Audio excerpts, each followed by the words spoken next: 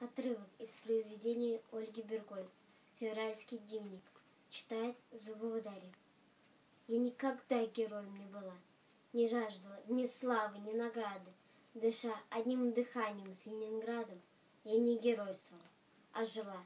И не хвалюсь я тем, что в дни блокады не изменяла радости земной, что как роса сияла эта радость, угрюмая, озаренная войной. Если чем-нибудь могу гордиться — то, как и все друзья мои вокруг, горжусь, что до сих пор могу трудиться, не складывая ослабевших рук. Горжусь, что в эти дни, как никогда, мы знали вдохновение труда. В грязи, во мраке, в голоде, в печали, где смерть, как тень, тащилась по пятам.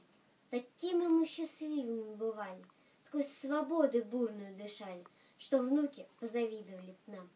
О да, мы счастье страшно открыли — достойно невоспетая пока, когда последнюю корку делились, последнюю чепоткой табака, когда вели полночные беседы у бедного и дымного огня. Как будем жить, когда придет победа, всю нашу жизнь по-новому ценя. И ты, мой друг, ты даже в годы мира, как полдень жизни будешь вспоминать дом на проспекте Красных Командиров, где тлел огонь и дуло от окна. Ты выпрямишься вновь, как нынче молод, Ликуя, плача, сердце позовет И эту тьму, и голос мой, и холод, И баррикаду около ворот. Да здравствует, да царствует всегда Простая человеческая радость, Основа обороны и труда, Бессмертие и сила Ленинграда. Да здравствует суровый и спокойный, Глядевший смерти в самое лицо, Удушливое вынесший кольцо — как человек, как труженик, как воин.